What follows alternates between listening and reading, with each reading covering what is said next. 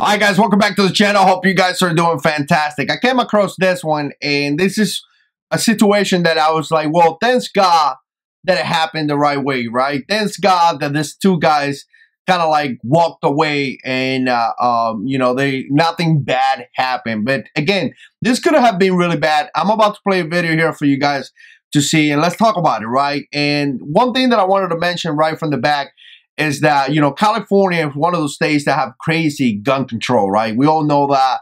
I mean, it's insane to buy a gun. So some of those things could potentially have play in the factor why this family didn't have a gun. But if you are one of those families or you are a family that doesn't have a firearm, probably not. You guys here watch my channel, you guys probably have guns. Uh, but this is why, you know what? Having a gun is so important because you could protect your family when that ultimate last moment happened. And the thing about this is that this family, just by, you know, the, the surveillance cameras and things like that, obviously have some kind of preparation plan. You know, obviously they had a camera. They care about the safety. They care about making sure the family's safe, and they were able to catch this in camera. But ultimately, that camera, that system, did not stop the bad guy uh, from committing a horrible attack, and he could have done it.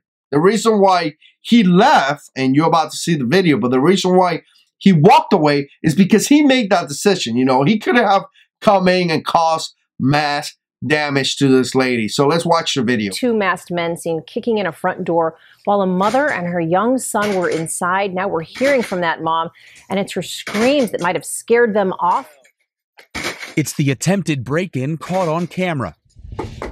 Watch as this would be intruder knocks several times in broad daylight. When no one answers, he pulls up his mask and another burglar joins in and they try to break into this California home. When they saw me pull out to take my oldest to Amador Valley, they went, huh, they're gone. No one's there. It's an empty driveway. But the house wasn't empty. Inside was Darren's wife, Andrea, and their young son. I didn't know what it was. Half the house was shaking because the way they were trying to force themselves inside the house. Once the burglars bust the door open, to their surprise, Andrea standing right there. So first of all, I want to make a quick point right here. The guy actually knocked a couple times. And I think the reason why he was doing that is because he really wasn't looking to cause no damage. He was just looking to steal. That's what he was doing. That's why he waited for the guy to left. He probably made sure that he left and then he came and knocked on the door. But the thing about it is that the wife was taking a shower. So maybe she took her time or whatever. Obviously, uh, she didn't open the door. But if you see him in the camera, he's not wearing a mask. He's just knocking. I got the feeling, I'm just saying, got the feeling that if the girl would have opened the door, he would have said something stupid and walked away because he really wasn't looking to cause them any damage and or any injuries. And that's why, in my opinion, uh, nothing crazy other than that happened. But the moment that nobody answered, he felt that, all right, no one is in the house. I'm going to start kicking down this door. So another thing right here, as I'm watching the video, you know, is two guys. And what does that mean? Two guys mean multiple suspects, right? Multiple, multiple criminal. So this is why having a firearm that has a great capacity comes so important. I know in California, you have restrictions on magazines, you know, like bunch of dumb stuff.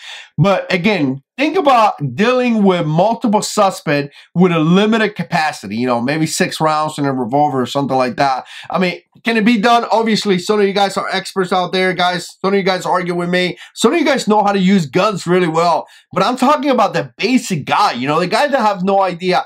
Dealing with a with multiple suspects with six rounds is not the same that dealing with multiple suspects with 17 rounds. You know, that additional 11 rounds is going to give you that amount of round necessary in case it goes bad. It could it could take a lot of rounds to fight two guys that are armed, right? So again, you know, having that good capacity to me is super important. Multiple suspects, just scary. And you got to be able to deal with that the best way you can. You need the best tool for the job. So the door opened and she screamed and the guys ran away. Why?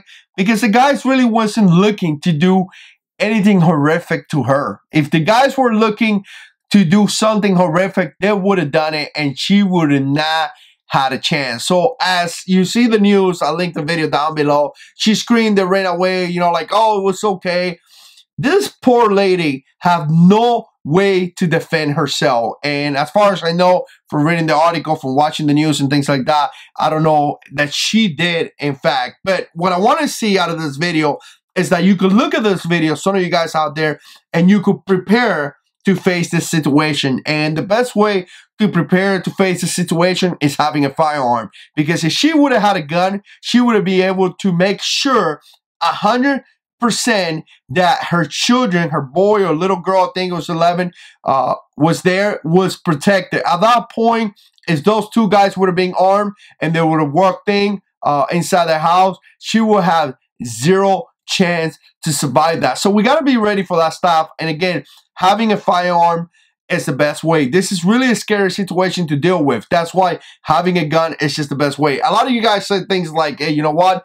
Uh, my wife doesn't like guns and my wife won't touch a gun. And I totally get it. Your wife is not going to like everything that you like, right? There, there's some things that we like to do. Maybe the girls like to do something else. Not girls, you know, some girls like to shoot too. But I'm saying in general, you know, maybe some of the dudes out there, some of you guys don't like riding bikes. I do, right? But nevertheless, uh, uh, that kind of goes out the window. So I got to tell you, you know, when something crazy is happening, either you like guns or not, you're going to grab it because a gun is a tool. You know, you don't like hammers. You don't fantasize about hammers. You don't fantasize about what is the best hammer. But if you got to put a nail in the in the wall, what do you do? You grab a hammer and you like bang on the on the wall and make sure that nail is in there, right? She may not like guns, but I tell you what, when something bad happens, she's gonna grab that gun and make sure her family is protected. It happens all the time in the news. So that's why one of the things that I say, you know what, even though she doesn't like guns, maybe she could practice, maybe she could go with you on the range, make it fun, make it like a fun day, you know, hey baby, I'm taking you to have chicken wings and, and you know, shoot some guns. Me and Stacy do that sometimes. And uh, just take her out there and making sure she's familiar familiar and making sure that she knows how to use it. And if something bad happens, she will be able to use it. Again, she doesn't have to love it. She doesn't have to like it. It's just a hammer that is sitting in a safe in case you got to put some nails on the wall, if that make any sense. Again, I wanted to share this video with you guys. Let me know what you think down in the comment section below. And as always, God is in control.